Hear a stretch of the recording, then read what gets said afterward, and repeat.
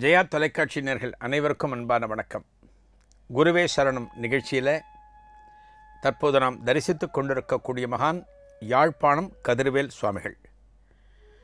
இந்த சுவாமிகளுக்கு மற்றவர்கள் பசியோடு இருந்தாலே மற்றவர்கள் ஒரு கஷ்டத்தோடு இருந்தாலே ஒரு பிணியோடு இருந்தாலே பிடிக்காது அப்படின்னு நம்ம பார்த்தோம். ஒரு வியாதியோடு வந்தாங்கன்னா பச்சிலை கொடுத்து குணமாக்கிடுவார். ஒரு பசின்னு வந்த அவர்களுக்கு சாப்பாடு போட்டு கொடுத்துடுவார். எனக்கு பொருள் தேவை உடனடியாக எனக்கு பணம் தேவைன்னா தேங்காய் ஓட்டை காசாக மாற்றி கொடுத்துடுவார்னு சொன்னோம். எல்லாரோட பசியையும் போக்கிற ஒரு சுவாமிகளுக்கு அவருக்கு பசி எடுத்தால் எப்படி இருக்கும்? இல்லையா? இப்போ கடவுளுக்கு நம்ம என்ன பண்ணுறோம் சுவாமிக்கு பசின்னா என்ன பண்ணுறோம் நிவேதனம் பண்ணுறோம் ஒரு கோவிலில் போய் பார்த்தீங்கன்னா காலையில் நிவேதனமாகும் அப்புறம் பத்து மணிக்கு நிவேதனமாகும் மத்தியானமாகும் சாயங்காலமாகும் வேளா வேளைக்கு நிவேதனமாகும். அந்த நிவேதனம் தான் சுவாமிக்கு ஆகாரம். இல்லையா? நம்ம கோவிலில் தானே பார்க்குறோம் இந்த சுவாமிகளுக்கு பசின்னு வச்சுக்கோங்களேன் யார்? இந்த கதிர்வேல் சுவாமிகளுக்கு பசின்னா அவர் ஒரு கிழங்கு வச்சுருப்பாராம் கிழங்கு. அந்த கிழங்கு எடுத்துகிட்டு ஒரு குறிப்பிட்ட தொலைவு நடந்து ஒரு மூதாட்டிக்கிட்ட போயிட்டு அந்த அம்மா கிட்ட கொடுத்து அம்மா இதை சுட்டு கொடு அப்படின்னு சொல்லுவாராம். இந்த கிழங்கை சுட்டு சாப்பிட்றதுங்கிறது கிராமங்களில் ஒரு விதமான ஒரு முறை.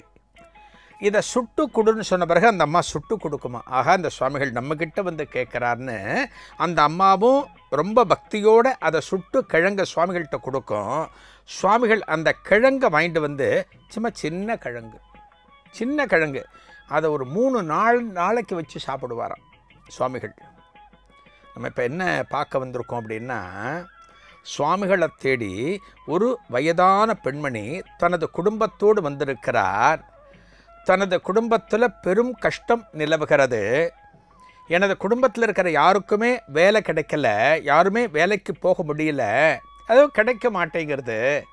அது வரைக்கும் என்னோட குடும்பத்திற்கு ஜீவனாம்சம் அதாவது என்னுடைய குடும்பம் நடத்துவதற்காக ஏதான தாங்கள் கொடுத்து உதவணும். அப்படின்னு கேட்குறாங்க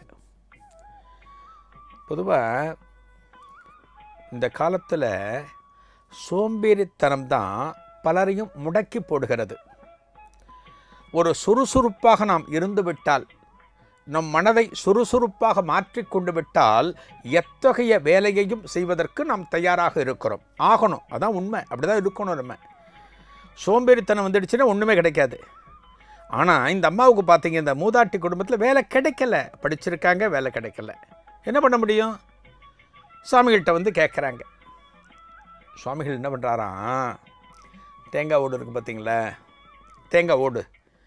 அந்த ஓட்டை ஒரு மாற்றி ஓட்டை அப்படியே இந்த ஓடு சில்லுகளை மாற்றி ஒரு ஒரு ரூபாய் காசு கொடுக்குறார். சுவாமிகள் வாழ்ந்த காலத்தில் ஒரு ரூபாய்ங்கிறது மிகப்பெரிய தொகை. சுவாமிகள் சித்தியானதே இப்போ சொன்னேன் ஆயிரத்து தொள்ளாயிரத்து நாலுன்னு. தை மாதம் பௌர்ணமி சுவாமிகள் சித்தியானது. ஆயிரத்து தொள்ளாயிரத்து நாலுன்னா கிட்டத்தட்ட நூறு வருஷத்துக்கு மேலே. நூற்றி பதினெட்டு வருஷம் ஆச்சு நூற்றி பதினெட்டு வருஷம் ஆயிடுச்சு கிட்டத்தட்ட. அந்த சுவாமிகள் காலத்தில் ஒரு ரூபாய்ங்கிறது மிகப்பெரிய தொகை. இந்த ஒரு ரூபாய் காசை வரவழைச்சு சுவாமிகள் அந்த மூதாட்டிகிட்ட கொடுப்பாங்களாம். கொடுத்துட்டு என்ன தெரியுமா சொல்லுவாராம்? இந்த காசை இதே போல் பத்து நாளைக்கு நான் உனக்கு தருவேன். எத்தனை நாளைக்கு? பத்து நாளைக்கு. நாளைக்கு வா. நாளைக்கு வா. பத்து நாளைக்கு தருவேன். அதுக்குள்ள உன்னோட குடும்பத்தில் யாருக்கான ஒருத்தருக்கு வேலை நீ வாங்கிடணும். யாருக்கான வேலை கிடச்சோட வைக்கணும் நீ. நீ அலைஞ்சு துறிஞ்சு வேலை வாங்கணும். அது வரைக்கும் தான் நான் தருவேன். அப்படின்னு சொல்லிட்டு அந்த தேங்காய் சில்லுலேருந்து ஒரு ரூபா காசாக மாற்றி தருகிறார்.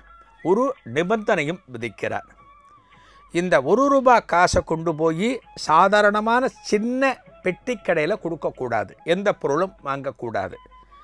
ஒரு பெரிய பலசரக்கு கடையில் கொடுத்து தான் நீ பொருள் வாங்கணும் அப்படின்னு சுவாமிகள் சொல்கிறார் ஒரு சின்ன கடைனா பெட்டி கடை. இன்றைக்கி நம்ம சொல்கிறோம் ரோடு ஓரத்தில் இருக்கிற சாதாரணமான பெட்டி கடைன்னு சொல்கிறோம் ஒரு பலசரக்கு கடைனா ஒரு மளிகை கடை ஒரு டிபார்ட்மெண்டல் ஸ்டோர் அது மாதிரி மிகப்பெரிய கடை.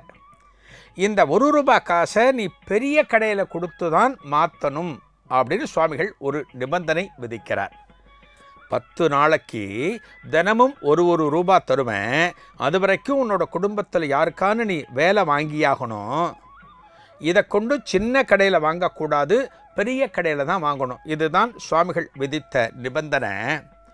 அந்த ஒரு ரூபாய் காசை வாங்கிட்டு அந்த அம்மா போகிறாங்க ஒரு ரூபாயை ஒரு பெரிய பலசரக்கு கடையில் கொடுத்தா அத்தனை பொருட்கள் கிடைக்கும். குடும்பம் நிம்மதியாக இருக்கிறது. இதன் தொடர்ச்சி என்ன? நாளை நிகழ்வில் காணலாம். நன்றி. வணக்கம்.